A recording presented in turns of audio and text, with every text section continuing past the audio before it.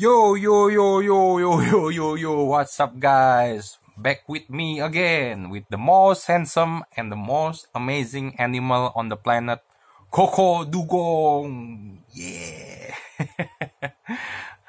Oke okay guys jadi di konten kali ini ya gue mau uh, bicara mengenai kondisi gue yang terkini sih kondisi gue terkini dan juga konten Pak Maha tahu yang paling terbaru. Oke, pertama kondisi gue terkini, gue sudah melakukan uh, eh, PCR itu dua hari yang lalu di hari ke-6 ya. Di hari ke-6 gue semenjak tes swab antigen itu. Jadi hari ke-6 itu dan hasilnya tadi hari ini yaitu hari ke-8 di mana gue isolasi mandiri. Hasilnya sudah keluar dan ternyata hasilnya adalah positif guys jadi gue terus melakukan isolasi mandiri lagi sampai dua minggu ke depan. Jadi gue belum bisa edit video yang bagus-bagus atau konten yang bagus-bagus untuk kalian karena gue sedang isolasi mandiri sampai dua minggu ke depan ya. Untuk pemakaian obat dan lain-lain itu semuanya antibiotik dan lain-lain semua udah gue beli udah gue gue gue pokoknya udah minum lah gue udah jaga pokoknya ini gue udah minum obat ini adalah hari ke-8 gejala sampai saat ini tidak ada gejala semua bagus indera ya apa indera penciuman juga bagus flu batuk dan lain-lain tidak ada juga. Lalu apalagi ya biasa gejalanya? Katanya buang-buang air juga gue juga enggak gitu ya. Jadi semuanya fully normal dan ya, ya walaupun hasilnya positif tapi gue tetap fit sih gitu. Yang penting dijaga adalah itunya katanya. Imun tubuhnya harus kuat. Ya itulah yang sedang gue jaga gitu ya. Doakan aja setelah dua minggu ke depan nanti gue akan tes lagi hasilnya nanti seperti apa. Oke itu mengenai kondisi gue di hari ke-8 ya yang gue isi masih dengan hari-harinya bermain game saja. Masih game League of Three Kingdom tadi juga main Mobile Legend kalah main dua kali terus juga gue ya masih baca majalah-majalah FAM jadul. Lanjut ke kontennya Pak Maha tahu oke kontennya Pak Maha tahu gue udah nonton sih yang terbaru. Itu yang katanya VTube setelah dihack e-commerce-nya akhirnya dibatalkan untuk launching katanya dibatalkan. Oke sekarang pertanyaannya kalau misalkan lu nonton dari video gue yang sebelumnya ya. Fit, ini makanya gue selalu aneh gitu. Gue selalu bilang beliau adalah Pak Maha Tahu. Karena beliau itu sudah mendahului yang Maha Tahu. Gua aja nggak tahu kapan e-commerce itu akan segera launching. Karena dari VTube tidak pernah ada pengumuman kapan e-commerce mau launching. Ini tanggal mau launchingnya aja belum ada tapi Pak Maha Tahu udah bilang dari mau launching udah mau dibatalin lagi batal batal launching gitu. Aneh ya aneh ya.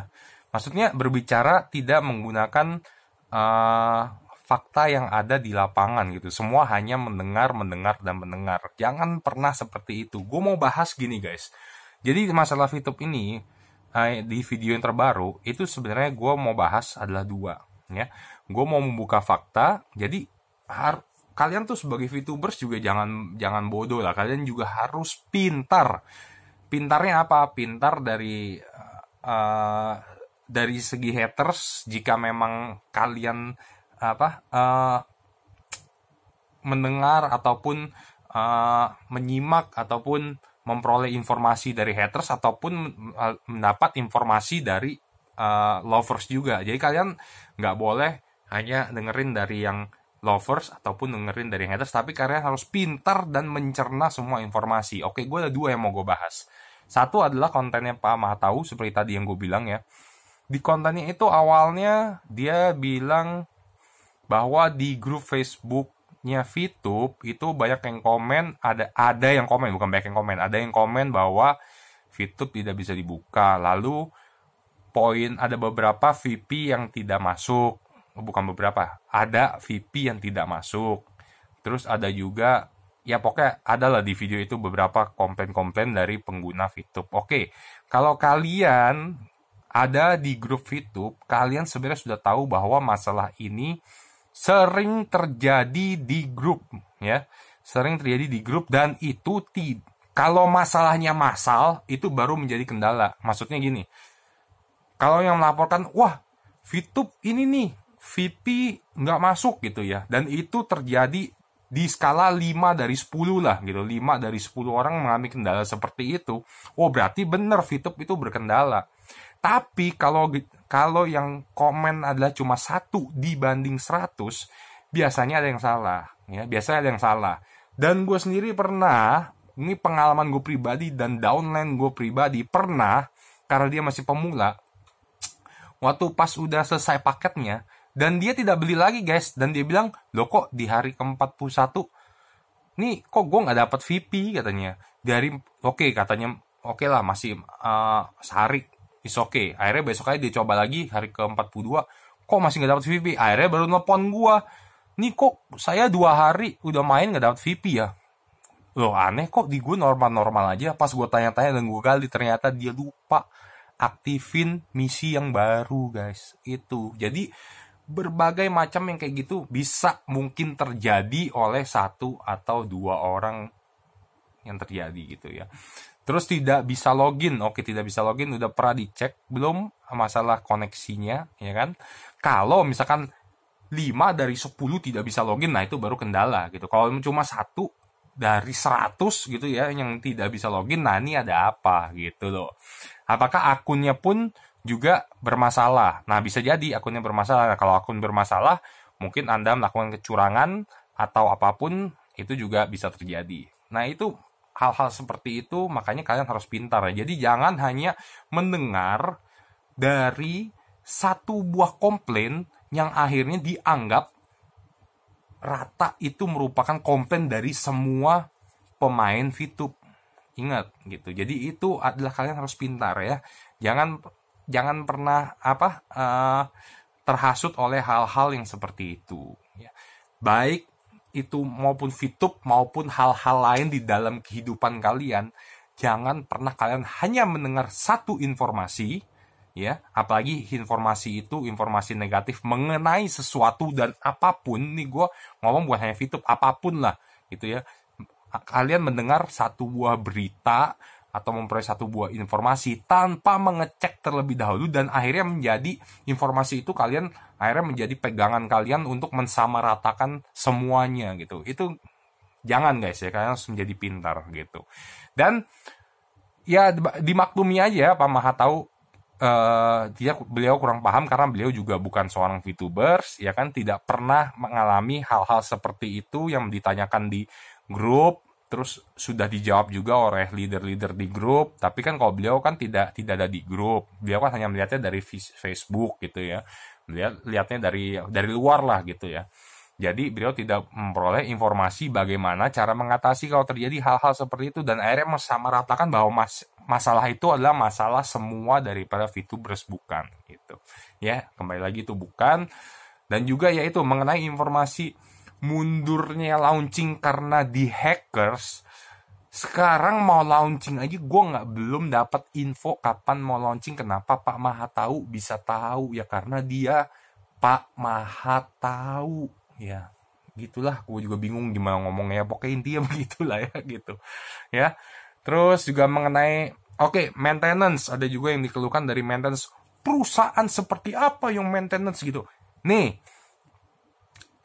itu adalah perusahaan yang bagus di saat terjadi kendala atau hack dia adalah maintenance oke? Okay? betul nah. Terus yang dikendalakan adalah katanya maintenance-nya sampai tiga kali sampai empat kali. Loh kenapa tidak dilakukan maintenance sampai dua atau tiga tiga kali sampai sistem itu full kembali sempurna?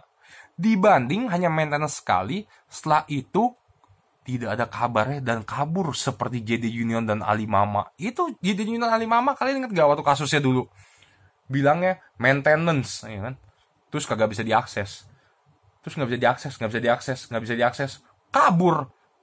Ya kan? Itu yang terjadi kan. Sedangkan VTube sudah mengambil langkah dari manajemennya secara benar, manajemen goibnya itu, manajemen Caspernya, mereka maintenance, oke. Okay. Mungkin setelah maintenance masih ditemukan kendala, akhirnya mereka maintenance lagi mungkin masih temukan kendala akhirnya maintenance lagi sehingga sekarang bisa diakses secara lancar dan tidak terkendala gue juga sudah memakai kan gue dari kemarin sih gue mainin misi VTube tidak ada kendala bisa akses dan VP tidak ada uh, yang error gitu ya. Semua VP juga berjalan dengan lancar. Tidak ada yang tidak bisa diakses. Oh ya ada keluhan juga dari Pak Matau. Di videonya bilang kata ada juga yang ngomong VTube tidak bisa diakses. Ya mungkin. Tidak bisa diakses pada saat maintenance kemarin tiga hari. Betul. Di jam tersebut memang tidak bisa diakses. Mungkin dia juga belum dapat infonya. Jadi banyak kemungkinan guys. Artinya kalian juga jangan termakan oleh satu buah uh, informasi yang negatif sehingga mewakilkan semuanya ya jadi kita harus pintar oke itu dari sisi yang haters ya dari sisi dari pamatau dari sisi yang lovers VTube pun juga kalian harus pintar karena ada yang mau gue bahas di sini. Ngapain posting-posting bahwa VTube tuh udah ada kantornya, pakai kantornya di luar angkasa, bayangin. Aduh, itu sama sekali nggak nolong, nggak nolong marah menjatuhkan VTube. Terus bilang lagi, Elon Musk yang punya Tesla itu bisa kaya gara-gara VTube. Oh my god, itu juga benar-benar berita hoax yang akhirnya nanti bisa menghancurkan VTube ya. Dan satu video lagi yang paling sekarang banyak dipakai oleh para VTubers yaitu VTube memperoleh penghargaan kemarin di waktu acara apa tuh uh, Innovation Award yang ada di Bali itu diposting oleh akunnya konten VTube internasional kalian juga jangan jadi bodoh oleh informasi tersebut. Ingat ya, kalian jangan jadi bodoh. Itu yang memperoleh penghargaan adalah individu yang ber, yang merupakan PLC dari VTube yang namanya Pak Luis ya. Jadi penghargaan itu adalah penghargaan untuk Pak Luis bukan untuk VTube. Dan dia tidak mewakili VTube dalam penghargaan itu. Sebab jika kalian search di internet Pak Luis itu bekerja di mempunyai posisi di suatu perusahaan. Beliau juga eh, apa owner dari suatu perusahaan ya. Jadi penghargaan itu tidak ditujukan kepada VTube tapi kepada individu Pak Luis yang PT-nya kita nggak tahu apa. Namun di situ setelah meraih penghargaan, Pak Luis mengatakan dia uh, turut mendedikasikan penghargaan ini bagi VTube. Beda ya. Karena kalau misalnya penghargaan itu untuk VTube, yang menerima adalah bukan Pak Louis. Yang menerima adalah Jack Goy selaku owner daripada VTube. Ya. Kalau Pak Louis menerima, itu dia bukan mewakili, dia bukan PT Future View Tech, bukan ya. Bukan penghargaan itu juga bukan diberikan kepada PT Future View Tech penghargaan itu diberikan pada Pak Luis, tapi dia mendedikasikan penghargaan itu, dia berterima kasih dan mendedikasikan uh, penghargaan itu kepada VTube. Sebagaimana juga kalau misalkan orang memperoleh penghargaan, misalkan Piala Oscar atau Piala Academy Award ataupun piala-piala yang lainnya gitu, inovasi apa pun gitu ya. Beliau pas maju, misalkan nih gue meroleh penghargaan dan, dan gue mengatakan, gue berterima kasih, gue mendedikasikan piala ini untuk YouTube karena YouTube sudah memajukan uh, eh, gue punya uh, channel gitu ya tapi bukan berarti gue pemenangnya adalah YouTube bukan. Pemenangnya tetap gue pribadi ya gitu ya. Yang memperoleh penghargaan adalah pribadi tapi gue boleh mendedikasikan penghargaan itu siapa aja. Gue mau dedikasikan untuk mama gue gue mau dedikasikan untuk orang tua gue gue mau dedikasikan untuk YouTube gue mau dedikasikan untuk YouTube silakan gitu ya. Jadi jangan gunakan informasi yang menyesatkan bahwa YouTube memperoleh penghargaan pada saat Innovation Award itu sama sekali tidak benar ya. Jadi kalian juga jangan jadi bodoh ya sebagai VTubers. Kalian boleh cinta lovers VTube, kalian boleh haters juga VTube, tapi segala macam informasi harus dicerna dengan baik agar kalian bukan menjadi bodoh atau yang biasa si Pak Maha tahu katakan bebek dungu. Nggak mau kan jadi bebek dungu? Jangan jangan. Gitu. Jadi jangan dungu ya. Semua informasi baik itu yang mendukung VTube ataupun yang menjelek-jelekan VTube kalian harus cerna semuanya. Mana kira-kira yang masuk di akal mana yang kira-kira informasi yang uh, bener-bener fakta dan bener-bener paten. Nah itu yang bisa kalian sebarluaskan gitu. Oke? Jadi sekian aja untuk video gue kali ini. Kita akan jumpa di next konten lainnya. Jangan lupa di share jika menurut kalian ini video bermanfaat. Dan juga uh, di, di like dan di komen sebanyak-banyaknya. Silahkan kalian mau komen apa pun juga. Dan mohon doa dan dukungan untuk segera uh, penyembuhan dari Koko Dugong agar agar komunitas Dugong apa pelestarian Dugong tidak punah agar pelestarian Dugong jangan sampai punah dukung pelestarian Dugong oke okay? dan Koko Dugong juga tak lupa mendoakan agar kalian semuanya di sana sehat-sehat selalu dan selalu jaga stamina yang penting adalah imun tubuh guys imun tubuh kalian diperkuat insya Allah kalian akan uh, terbebas dari virus sialan ini. Oke, okay? guys, berarti sekian aja video gue sampai di sini. Bye bye.